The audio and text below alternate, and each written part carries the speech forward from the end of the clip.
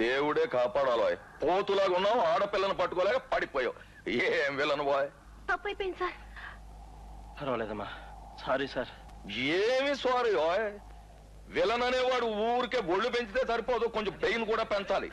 అది కాకపోయినా మార్నింగ్ ఫుల్గా టిఫిన్ చేసావు మధ్యాహ్నం ఫుల్గా భోజనం చేసావు. మళ్ళీ ఇప్పుడు ఫిలిం తినేస్తామేమిటో ఫిలిం ఖరీదే తెలుసా?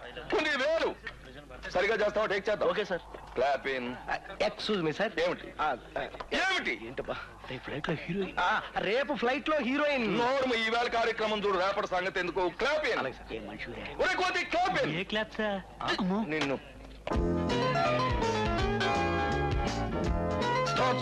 రన్నింగ్.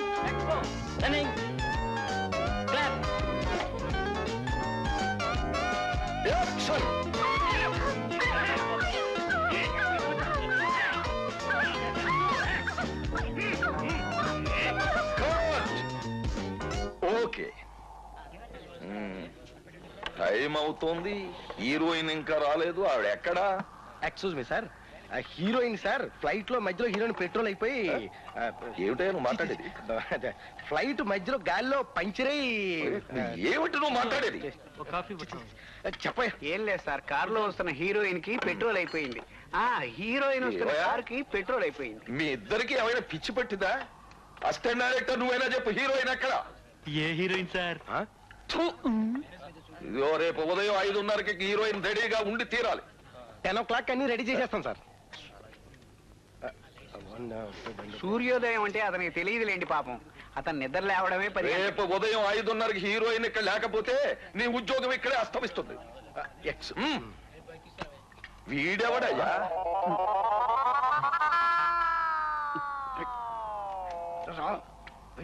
ఎవడి పిచ్చివాడు? నేను పిచ్చివాడిని కాదు సార్. కథా రచయితని. నా దగ్గర బ్రహ్మాండమైన కథ ఉంది. దాన్ని మీరు సినిమా తీస్తే ఒక సంవత్సరం ఆడుతుంది. సంవత్సరం ఆడే సినిమాకి ఎంత కలెక్షన్ వస్తుందో ఒక్కసారి ఆలోచించండి. రెండు కోట్ల ముప్పై ఐదు లక్షల రూపాయలు. సముద్ర తీరం వెంబడే ఓ అందమైన కుగ్రామం. ఆ కుగ్రామంలో ఓ అందమైన అమ్మాయి ఓ అందమైన సాయంకాలం. ఆ సముద్ర తీరంలో అందంగా ఇలా నడుచుకుంటూ వెడుతోంది అంతలో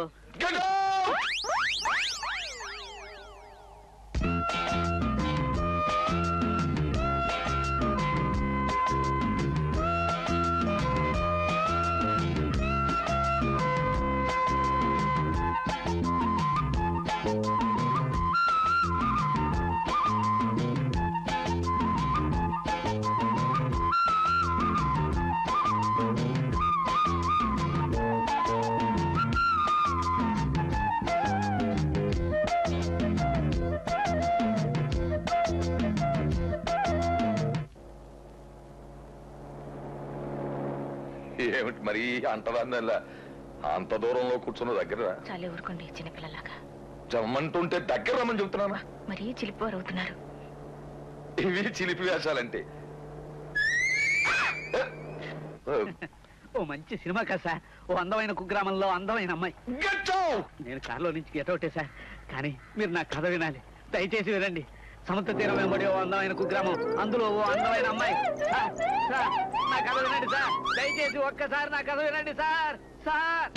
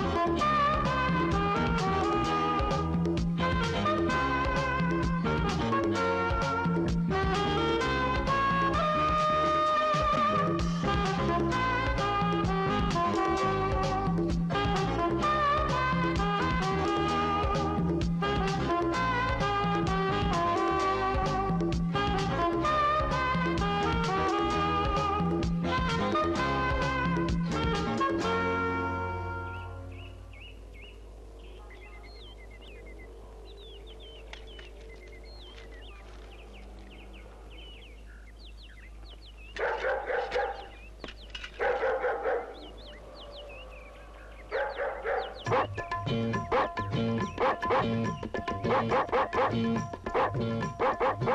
you.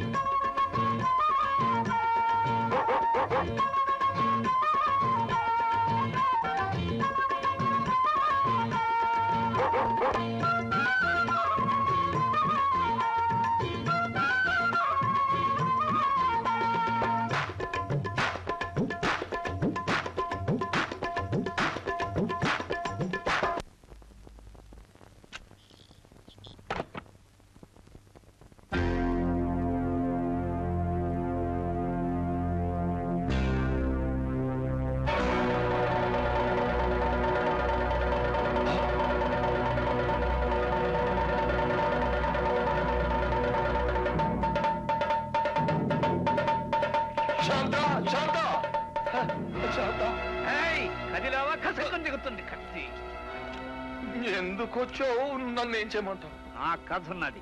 వింటారా లేదా? నేను కథ కోసమే తంటాలు పడుతున్నాను వింటాను ఆ? వింటాను నిజంగానే వింటారా? ఆ, చెప్పు. నిజంగా చెప్పు. చెప్పమంటారా? ధన్యుణ్ణి సార్ ధన్యుణ్ణి. ఏంటి?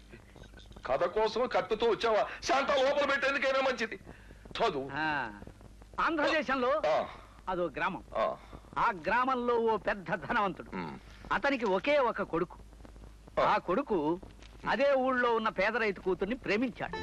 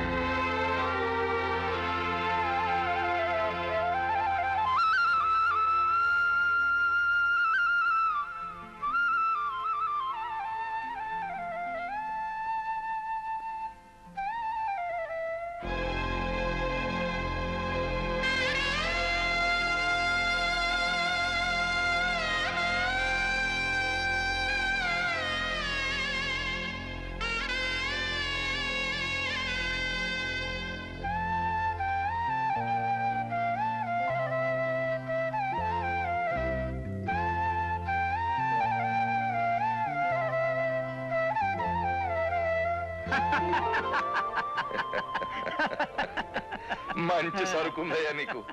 కానీ అయిపోయింది సార్. ఇది సార్ మన కథ. ఎలా ఉంది? ఈ కథ నాకు ఇంత మునిపే చెప్పలేకపోయారా? నన్ను ఎప్పుడన్నా చెప్పనిస్తే కదా సార్. ఎప్పుడొచ్చినా shut up get out shut up get out అనే బిరుదులు నా మొహాన పారేశారు. సమయం సందర్భం లేకుండా నా కథ నా కథ అంటే అలా అయ్యా. మొహం కడుకునే ముందు స్నానానికి వెళ్ళే ముందు ఆ, భార్యతో సినిమాకి వెళ్ళే